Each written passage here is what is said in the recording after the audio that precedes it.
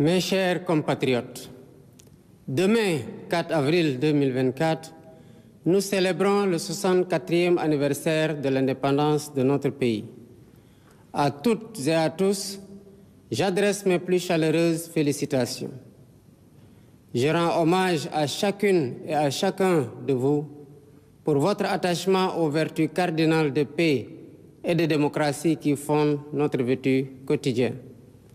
Les changements significatifs que nous venons de vivre de façon paisible témoignent une fois de plus de la maturité de notre peuple, de la vitalité de notre démocratie et de la force de nos institutions. Nous devons tous être fiers de cette belle performance. Cette année encore, par la grâce divine, notre fête nationale se déroule sous le signe de la communion spirituelle avec la semaine sainte pascale qui vient de conclure le carême, le mois de Ramadan qui tire également à sa fin. Cette année encore, par la grâce divine, notre fête nationale se déroule sous le signe de la communion spirituelle avec la semaine sainte pascale qui vient de conclure le carême, le mois de Ramadan qui tire également à sa fin. Compte tenu des circonstances, en lieu et place du défilé traditionnel, je présiderai demain au Palais de la République une cérémonie de levée des couleurs sobre et symbolique. Ce soir, alors que nous célébrons notre liberté retrouvée, mes pensées vont à nos vaillants résistants, héros célèbres ou méconnus, qui, se donnant corps et âme, ont défié l'odieux système colonial et sa prétendue mission civilisatrice pour défendre la liberté de notre peuple et ses valeurs de culture et de civilisation. Je voudrais également saluer avec respect et affection nos anciens combattants qui ont sacrifié leur jeunesse loin de leur famille au prix de leur liberté et de leur vie. Je rends un vibrant hommage à mes prédécesseurs, les présidents Léopold Sédar Senghor, Abdou Diouf, Abdoulaye Wade et Macky Sall, qui, chacun, a apporté sa pierre à l'œuvre de construction nationale. C'est sur la base de ce legs que je veux poursuivre avec vous notre quête collective du Sénégal de nos rêves. Mes chers compatriotes, la fête nationale met à l'honneur nos forces de défense et de sécurité. À vous, officiers, sous-officiers et militaires du rang, qui avez choisi le métier risqué des armes, je réaffirme la reconnaissance de la nation. Je vous exprime ma fierté, mon soutien et mon entière confiance dans vos missions au service de la patrie, de la paix en Afrique et dans le monde. Je salue la mémoire de nos djambars tombés au champ d'honneur et souhaite prompt rétablissement aux blessés.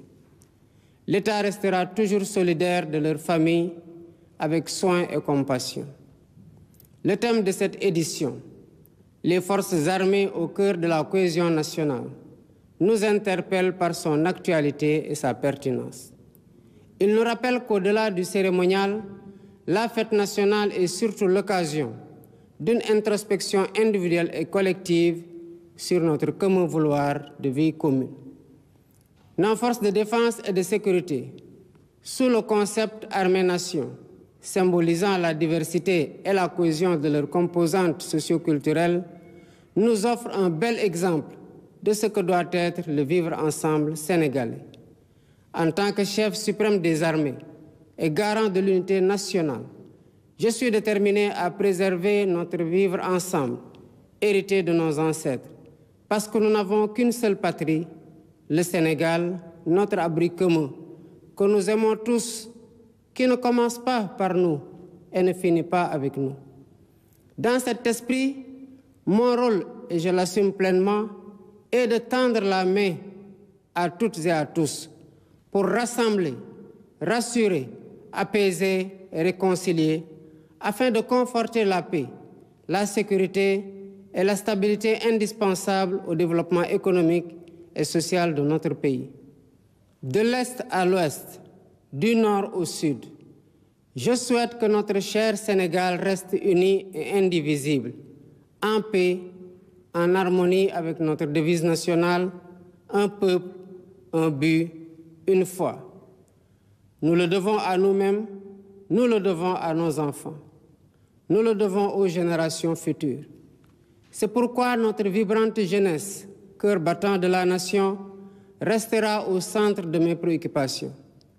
Chers jeunes du Sénégal, je fais mieux vos rêves, vos aspirations et vos ambitions légitimes de réussir pour être utile à vous-même, à vos familles, à vos communautés et à votre pays.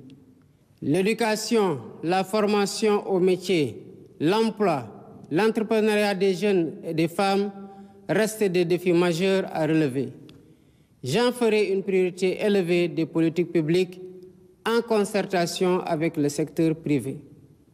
Nous devons à cet effet revisiter les mécanismes existants, les améliorer et les rationaliser afin qu'ils répondent mieux aux besoins d'emploi et autres activités génératrices de revenus pour les jeunes. Pour encourager la création d'emplois, je compte m'appuyer sur un secteur privé fort parce que soutenu par l'État. Sur la base de nos besoins prioritaires, nous travaillerons ensemble pour endogéniser notre économie. Bien entendu, le secteur privé international aura son plein rôle à tenir. Les Sénégalais sont braves, mais ils sont fatigués et attendent de nous des solutions contre la vie chère. La question du coût de la vie me préoccupe particulièrement et retient toute mon attention. Dans les jours à venir, des mesures fortes seront prises dans ce sens, après les concertations que j'entreprendrai avec les acteurs concernés. Mes chers compatriotes, de l'indépendance à nos jours, notre système politico-institutionnel et judiciaire a vécu bien des péripéties, les unes plus heureuses que les autres. 64 ans après, le moment me semble venu de tirer les leçons de nos réussites et de nos échecs pour une gouvernance publique plus moderne, plus républicaine et plus respectueuse des droits humains. C'est pourquoi, après avoir démissionné dans mon poste de secrétaire général de PASTEF Les Patriotes, pour ainsi me mettre au-dessus de la mêlée, je convoquerai de larges concertations avec la classe politique et la société civile sur la réforme du système électoral notamment, le remplacement de la Sénat par une commission électorale nationale indépendante avec un renforcement de ses moyens de fonctionnement et de ses prérogatives, la rationalisation du nombre de partis politiques ainsi que leur financement, l'inscription sur le fichier électoral concomitamment à la délivrance de la pièce nationale d'identité. Par ailleurs, pour redorer le blason de la justice, lui redonner le prix qu'elle mérite et la réconcilier avec le peuple au nom duquel elle est rendue, j'entends organiser des assises regroupant les professions du métier, magistrats, avocats, huissiers, greffiers et autres auxiliaires de justice, les professeurs d'université et les citoyens pour identifier des pistes de solutions aux problèmes de la justice. Dans la quête d'un Sénégal meilleur au bénéfice de tous, j'entends instaurer une gouvernance vertueuse fondée sur l'éthique de responsabilité et l'obligation de rendre compte. En outre, j'engagerai sans tarder une politique hardie de bonne gouvernance économique et financière par la lutte sans répit contre la corruption, la répression pénale de la fraude fiscale et des flux financiers illicites, la protection des lanceurs d'alerte, la lutte contre le détournement des deniers publics et le blanchiment d'argent, l'amnistie des prête-noms et leur intéressement sous conditions d'autodénonciation, la publication des rapports de l'IGE, de la Cour des comptes et de l'OFNAC. De même, l'exploitation de nos ressources naturelles qui, selon la Constitution, appartiennent au peuple, retiendra particulièrement l'attention de mon gouvernement. Ainsi, en plus de la mise en ligne déjà effective des contrats miniers, pétroliers et gaziers sur le site de l'ITIE Sénégal, je ferai procéder à la divulgation de la propriété effective des entreprises extractives conformément à la norme ITE, à l'audit du secteur minier, gazier et pétrolier et à une protection plus soutenue du contenu local au bénéfice du secteur privé national. Au demeurant, je voudrais dire à tous nos partenaires privés qu'ils sont les bienvenus au Sénégal. Conformément aux lois et règlements en vigueur, les droits de l'investisseur seront toujours protégés, de même que les intérêts de l'État et des populations. À nos pays amis et partenaires, je voudrais assurer que le Sénégal reste un pays ouvert et accueillant pour tous. Nous veillerons sans cesse à maintenir et raffermir les relations de bon voisinage et de solidarité agissantes au sein de nos organisations communautaires, notamment la CDAO et l'UMO. Héritier de l'idéal panafricaniste de Cheikh Ante Diop et de Léopold Sédar Senghor, un des pères fondateurs de l'Organisation de l'Unité africaine, nous demeurons fermement engagés dans la construction de l'intégration africaine et la réalisation des objectifs de la zone de libre-échange continentale africaine. Nos partenaires étrangers de tous horizons sont d'égale dignité pour nous. À tous, nous devons respect et considération. Et de tous, nous demandons respect et considération. Nous resterons engagés pour une gouvernance mondiale plus juste et plus inclusive, dans le respect de l'égale dignité des valeurs, de culture et de civilisation. Mes chers compatriotes, la fête nationale, symbole de notre souveraineté, nous rappelle que nous sommes seuls face à notre destin et que personne ne fera à notre place ce que nous ne sommes pas disposés à faire pour nous-mêmes. Nous avons la responsabilité historique de conforter notre souveraineté en rompant les chaînes de la dépendance économique par le culte permanent du travail et du résultat. Dans cet esprit, l'administration doit agir à tous les niveaux de façon plus accueillante et plus efficace pour les usagers du service public.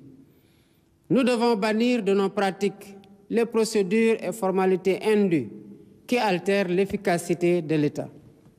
Dans cet objectif, J'entends investir massivement dans la digitalisation des services et des procédures administratives. De même, il y a urgence à gagner notre souveraineté alimentaire en investissant plus et mieux dans l'agriculture, la pêche et l'élevage, les trois mamelles nourricières de notre pays. Je tiens particulièrement à ce que les subventions substantielles dépensées chaque année dans la campagne agricole bénéficient aux véritables producteurs et non à des acteurs intermédiaires.